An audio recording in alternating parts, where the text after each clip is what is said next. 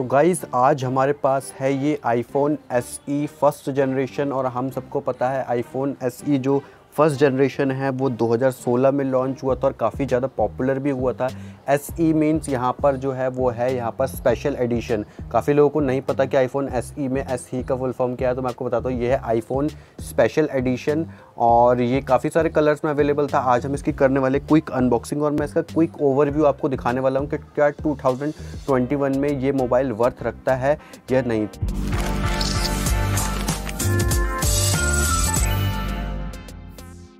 तो सबसे पहले अगर मैं इसके अनबॉक्सिंग की बात करूँ तो ये आपको एक सिंपल सा बॉक्स देखने को मिल जाएगा, जिस पर फ्रंट में कुछ भी नहीं बना हुआ सिंपल एक ही मोबाइल की पिक्चर बनी हुई है और यहाँ पर एप्पल लोगो बना हुआ है। इससे पहले मैं अगर आपको दिखाऊँ, यहाँ पर लिखा हुआ आईफोन एस e और बैक में बस कुछ सिंपल डिटेल्स लिखी हुई हैं, जिसमें ये जो मैन्युफैक्चर्ड है, ये मोबाइल जो है अक्टूबर 2017 का है और हमारे पास जो है स्पेस ग्रे वर्जन है अवेलेबल हमारे पास जो है।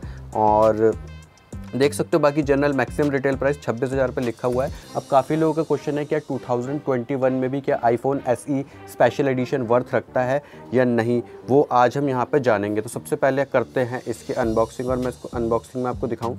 तो ये रहा हमारा डब्बा, इसको यहाँ पर रखते हैं, और ये इस तरीके से हमको देखने को मिलता है आईफोन एस जो कि काफ़ी ज़्यादा मतलब काफ़ी ब्रिलियंट लगता है देखने में। और यहाँ पर अगर आप नीचे बैक में देखोगे तो आपको एस दिख जाएगा। यहाँ पर जो SE जो है, वो यहाँ पर लिखा हुआ आईफोन एस और अगर मैं इसको बॉक्स को यहाँ पे दो मिनट के लिए साइड रखता हूँ, दो मिनट के लिए मैं बॉक्स को साइड रखता हूँ, मैं आपको दिखाता हूँ, तब तक ये जो है आईफोन 5s के बिल्कुल सिमिलर है। अगर आप देखोगे, बिल्कुल दोनों में बस यही एक फ़र्क है, यहाँ पर एसई लिखा हुआ और यहाँ पर कुछ भी नहीं लिखा हुआ है। तो दोनों काफ़ी ज़्यादा सिमिलर दिखते हैं, लेकिन फ़ीचर्स में काफ़ी ज़्यादा डिफरेंट हैं। तो ये हमारा एस ई मॉडल है, इसको हम अभी रखते हैं। दोनों मॉडल्स को ही अभी हम साइड में रखते हैं और चलते हैं हम अपनी अनबॉक्सिंग की तरफ़। तो अनबॉक्सिंग में जो हमारे पास ये बॉक्स है इसको निकालोगे तो आप, वो आपको अपना पेपर वर्क मिल जाएगा, जो हमारे किसी काम का नहीं है, इतना ज़्यादा कोई इंटरेस्टिंग काम नहीं है इसमें। और ये आपको एक एप्पल का जो ओरिजिनल चार्जर देखने को मिल जाएगा, जो आपको देखने को मिलेगा टू फोर्टी वोल्ट्स का 50 से 60 हर्ट्स ये जो आउटपुट है 5 वोल्ट्स 1 एम्पियर का, अगर आपको किसी भाई को दिख रहा है 5 वोल्ट्स 1 एम्पियर का ये है और साथ में आपको देखने को मिल जाएगी एक डेटा केबल बाकी कुछ भी नहीं है मोबाइल में, और मतलब आई मीन बॉक्स में। तो इनको रखते हैं साइड में और चलते हैं सबसे पहले हम अपने मोबाइल की तरफ़।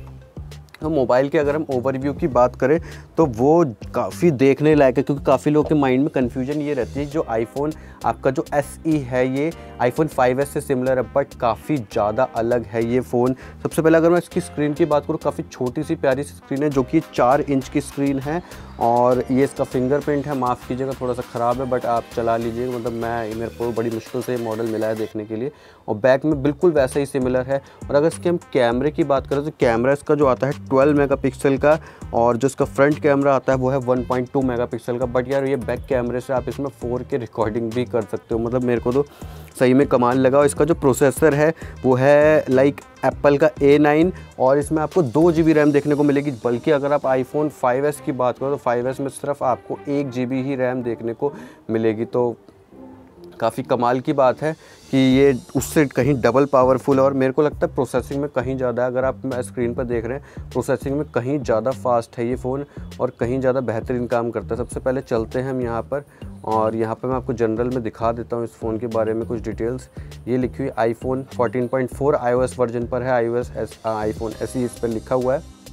और जो मेरे पास जो है वो है बत्तीस जी का वेरिएंट आपको देखने को अगर मिल रहा है, ये बत्तीस जी का वेरिएंट है।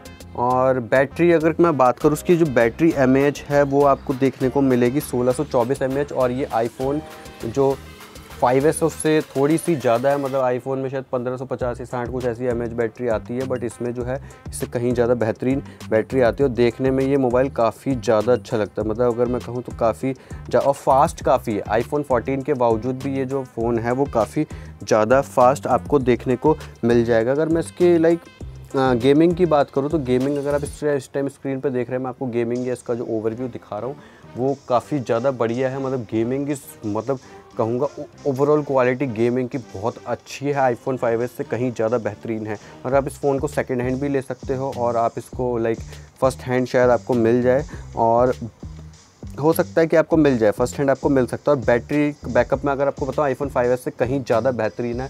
आई मतलब 2021 में वर्थ है। अगर आप इस फ़ोन को एक सेकेंडरी फ़ोन की तरह यूज़ करना चाहते हो तो मुझे लगता है कि सेकेंडरी फ़ोन की तरह बेस्ट ये एक आपके पास ऑप्शन अवेलेबल क्योंकि ये बहुत फास्ट फ़ोन है सुपर फास्ट सुपर फास्ट काम करता है और कोई भी दिक्कत नहीं आती। मतलब आपको किसी भी चीज़ में आपको कोई भी दिक्कत नहीं आएगी।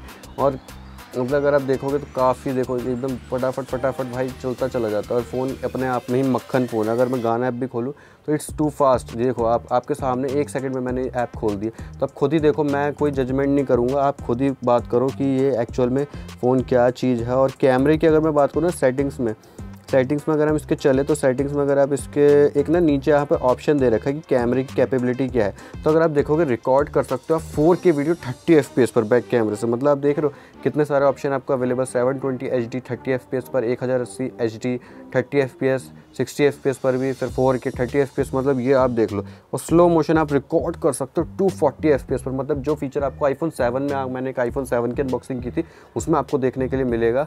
तो ये फीचर आपको जो स्लो मोशन में one hundred eighty P at one twenty F P slow motion आपको देखने को मिलेगा।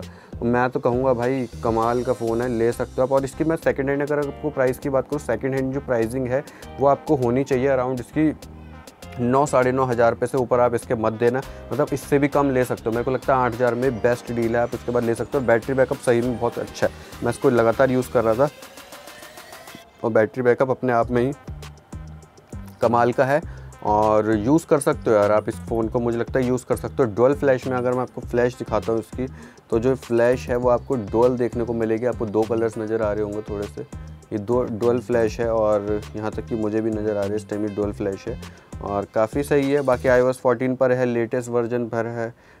आपको देखने को मिलेगा, इस तरीके से आपको नए नए जो ऐप लाइब्रेरी के फ़ीचर है, वो सारे आपको देखने को मिलेंगे। तो ये यार आपके ऊपर डिपेंड करता है कि आप ये आईफोन लेते हैं नहीं लेते। मेरा जो ओपिनियन है कैमरे wise gaming wise processing wise और प्राइस वाइज मतलब ये चारों चीज़ अगर हम माइंड में रखें कि इस फ़ोन के बारे में आईफोन एस ई वर्जन के बारे में तो मुझे लगता है बेस्ट डील है एट थाउज़ेंड रुपीज़ में ओ एल एक्स में, दिल्ली में या किसी भी मुंबई, किसी भी चेन्नई में हो, तमिलनाडु में, कहीं पर भी दुनिया किसी भी कोने में हो इंडिया के मतलब आप किसी भी कोने में तो आप जाके परचेस कर सकते हो। बेस्ट डील है। मेरे अकॉर्डिंग तो ये बेस्ट डील है टू की तो आप एक सेकेंडरी क्या प्राइमरी फ़ोन की तरह भी यूज़ कर सकते हो। तो गाइज़ वीडियो अच्छी लगी तो वीडियो को लाइक कर देना क्योंकि अब हम ना आईफोन एस e और आईफोन 5s दोनों का स्पीड टेस्ट लेके आने वाले हैं। बहुत जल्दी, शायद नेक्स्ट वीडियो उसी की ही होगी। तो आप जो है वीडियो को लाइक कर देना और चैनल को सब्सक्राइब कर देना, क्योंकि इस तरीके की यूनिक वीडियोस हम आपके लिए हमेशा लाते रहेंगे। और गाइज़ ये मस्ट फ़ोन है, बिल्कुल भी रेगरेट नहीं करोगे इस फ़ोन को लेने के बाद गारंटी है मेरी।